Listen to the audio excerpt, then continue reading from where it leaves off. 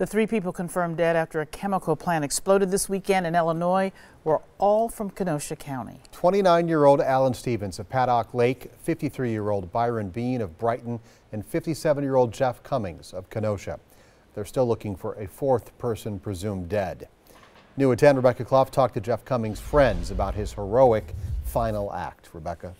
Stephen Carroll, the Waukegan fire chief, says the people who died in the explosion died trying to get their coworkers out. That includes Jeff Cummings. His best friends and his motorcycle club, Patriots MC, says Jeff would have done anything to help someone else.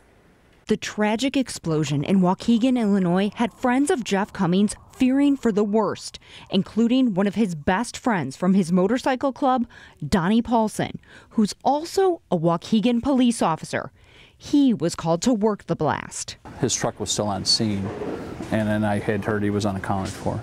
Donnie couldn't believe that the man he knew for nearly two decades, who he called a brother, could be gone. I'm thinking that um, there's still someone in there. It took two days before Jeff was found dead. Not surprising to his friends, they learned Jeff was one of the people who went back into the plant to get people out before it blew up. Jeff was one of the people that ran back into the building. You know, they're calling Jeff a hero. He is. This is the guy that would give you the shirt off his back. Wouldn't only give you a shirt, he'd give you his pants, his tennis shoes, his socks, whatever you needed. Now, there is a donation page set up for the family. Jeff leaves behind a wife, son, and grandson. The family did not want to go on camera tonight, but they wanted to thank all the Waukegan first responders who helped. Stephen Carroll. Just heartbreaking. Rebecca, thank you.